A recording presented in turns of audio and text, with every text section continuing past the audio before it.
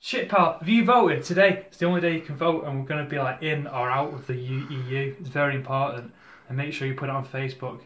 Doesn't matter if you're in or out, just put it on Facebook. Otherwise, your vote does not count.